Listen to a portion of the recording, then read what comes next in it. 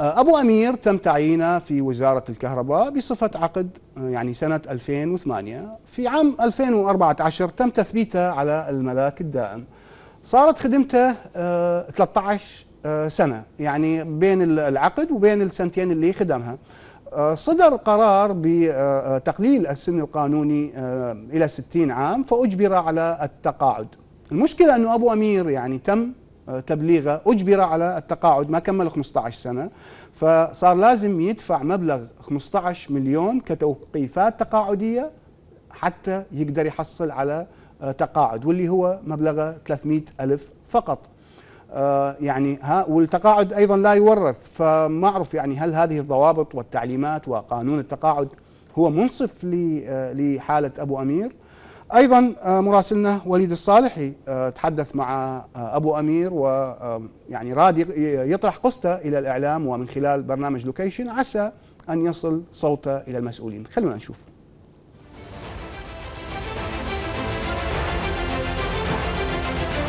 طبعا مناشدة من أحد مواطني كربلاء وهو أبو أمين موظف في محطة إنتاج طاقة كربلاء.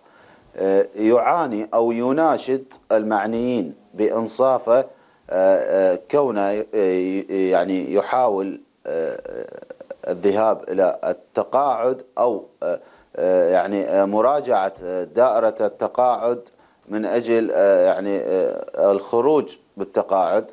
لكن طلبوا من أبو أمين 15 مليون دينار مقابل إخراجه للتقاعد.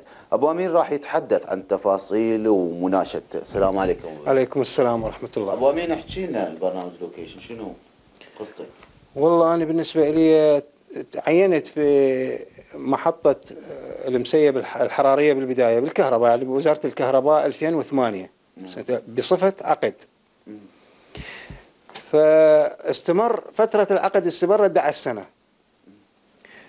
بعدها يعني من 2008 إلى 1 4 2019 تم تعيين على الملاك الدائم وصدر بعدها قرار آه تقليل السن القانوني من 63 التقاعدي إلى 60 أنا مواليد 61 فبعد سنتين من تعييني أه طلع التقاعد بشكل إجباري.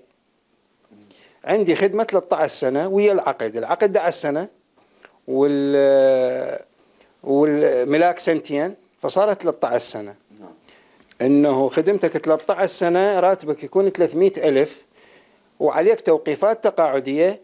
لازم تدفع 15 لازم تدفع 15 مليون. 15 مليون دينار تدفعها كتوقيفات تقاعدية. حتى تاخذ 300 ألف دينار.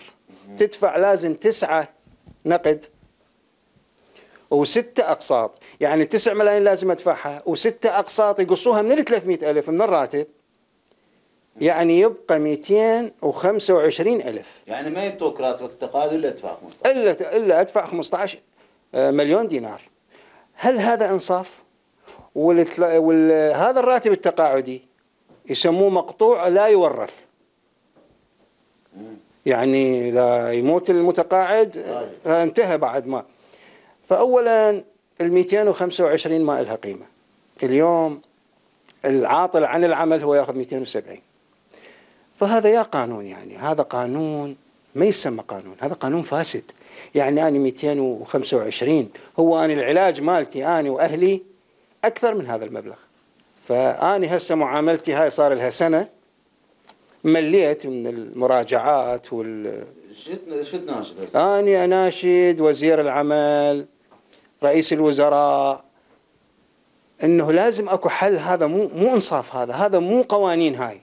يعني هسه أي مسؤول أي مسؤول يقبل بهذه بهذه القوانين هذه؟ زين إذا طبقت على المسؤولين يقبلها هو.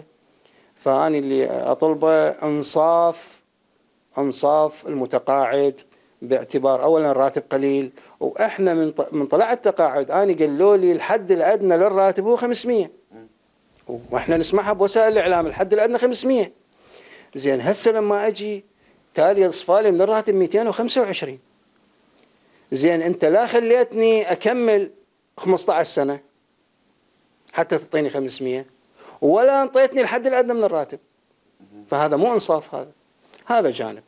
الجانب الآخر عندي أنا خدمة عسكرية 11 سنه 11 سنه بس المشكلة الدفتر ضايع. قالوا إلا دفتر 11 سنة أنا مواليد 61 نعم. 11 سنه خدمة عسكرية راحت علي الدفتر ضايع. عندي مستمسكات أخرى